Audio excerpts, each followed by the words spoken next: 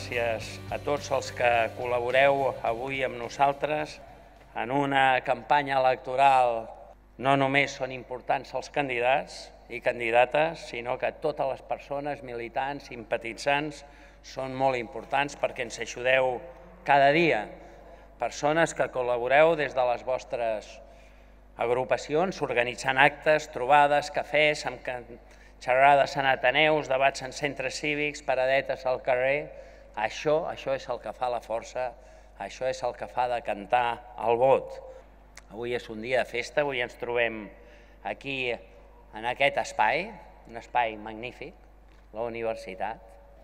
Ho fem aquí, tocant a les places de les Glòries, però és que la plaça de les Glòries, això és extraordinari. La gent de Barcelona està descobrint la plaça de les Glòries i la descobrirà més encara. Jo crec que estem en una situació bona, les enquestes ens diuen uns resultats que a mi particularment no m'agraden. No hem de treure 10 o 11, n'hem de treure 14, 15, 16 o 17. Aquesta ha de ser la nostra voluntat. Estic convençut que guanyarem. I estic convençut, a més, que guanyarem bé, perquè l'única manera de treure un gran resultat és això, treballar, treballar, treballar i entusiasmar la gent generar el nostre optimisme, el nostre entusiasme, fer que la gent entenguin que necessitem un govern fort. Govern fort vol dir amb pactes estables que facin que la ciutat pugui anar endavant. No podem permetre que la crítica permanent s'instal·li a l'Ajuntament. Nosaltres volem construir una Barcelona més justa, una Barcelona pensada en les persones, on tothom pugui viure amb benestar i qualitat de vida. Una campanya de suma de valors que demana compromís i la corresponsabilitat de tothom. Vull ser l'alcalde de tots, no canso de dir-ho. I us demano que seguim tots demanant aquest vot útil per Barcelona fins l'últim moment. Volem que els barcelonins i barcelonines estiguin orgullosos de la seva ciutat. Treball habitatge i educació. Aquestes són les prioritats. Una ciutat que generi ocupació de qualitat i oportunitats de feina per tothom. Una ciutat que l'altre dia ho dèiem, que no posi límits, sempre dic límits jo, que posi límits a l'atenció social. Una ciutat que aposti per l'excel·lència i posi l'educació a l'abast de tothom. La gent valora que siguem seriosos que presentem projectes de futur. Un canvi que el vam començar fa quatre anys. El canvi l'estem fent i el fem sense grans esdeveniments. Un canvi tranquil, un canvi que jo dic que és la revolució del sentit comú, no canviar per canviar, un canvi per portar estabilitat a Barcelona, en uns moments difícils, en una situació de crisi econòmica, de crisi social, de crisi de partits, de crisi institucional, de crisi de model d'estat. Del 2007 al 2011 vam passar de 50.000 aturats a 211.000 aturats. De 111.000 hem baixat a 96 i hem de ser capaços de continuar treballant, lluitant, lluitant perquè la nostra ciutat i el nostre país baixin endavant. I això vol dir també estar a favor del dret a decidir. Això vol dir estar a favor del dret a decidir.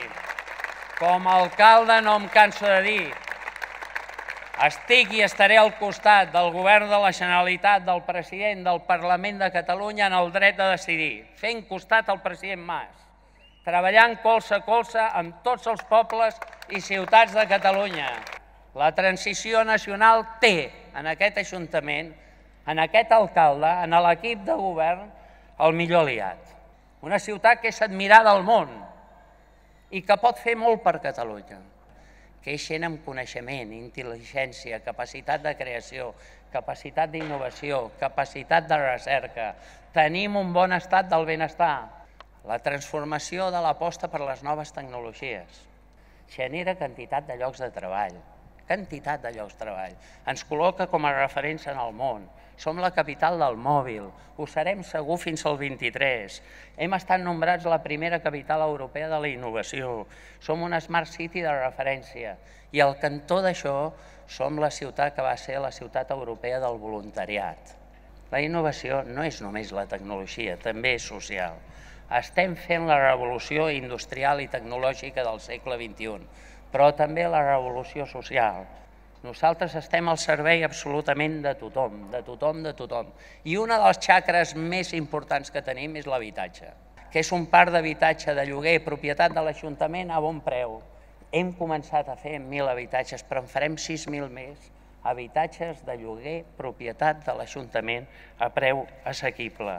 Això és acció social. Gastarem 250 milions d'euros per tenir el dia, mantenir, tenir en el seu lloc doncs, els centres d'ensenyament de la nostra ciutat i l'assignatura pendent que tenim, que és ensenyar l'anglès, i això farem un esforç extraordinari, perquè nosaltres hem de ser competitius. I al futur hi ha cops que la gent es creu que és només tenir grans esdeveniments i fer grans transformacions. Tenim grans transformacions a fer. La Sagrera, el Morrot, la cobertura de la Ronda de Dalt, però hi ha transformacions que són del ple centre de la ciutat. Però sí han canviat moltíssimes coses més. Can Batlló, l'Hospital del Mar, la Model, Gala Placídia, la Rambla del Poble Nou, Cotxeres Borbó, Trinitat Nova, el Turó de la Rovira. A tots els districtes i a tots els barris estan en obra. La transformació tranquil·la i serena de la ciutat, que vol dir fer la ciutat pels vianants, per les persones. I ho hem fet amb uns processos, 110 processos participatius hem fet en aquesta ciutat, poca broma. Ens diuen poca participació i dic 110, 110 processos participatius. Hi han col·laborat 200.000 persones, 50.000 directes, 150.000 indirectes. Participació de tothom. I ho hem de decidir tots, entre tots, en col·laboració de tots. La gent demana un canvi de fer amb la política. Hem d'estar molt més a prop de la gent, hem d'escoltar la gent, hem d'estar amb la gent. Necessitem que les associacions, les entitats siguin representatives. Volem ser absolutament l'alcalde de tots. Quin perill tenim? Un ajuntament més fragmentat. Primer, hem de treballar per aconseguir un bon resultat. Segona, per buscar complicitats. Estendrem la mà a tothom, el tercer sector dona cohesió social, dona convivència, fa activitat econòmica. Hem d'ajudar el tercer sector, inclús les entitats que sabem que no estan a favor nostre i que fan campanya contra nosaltres. Però hi gent que en molts casos fa una bona feina a la ciutat. I aquesta és la nostra actitud. La mà estesa per fer que la ciutat baixi endavant i baixi bé. Aquesta és l'aposta, aquesta és la manera de fer de Convergència i Unió, que hi ha gent que es despista.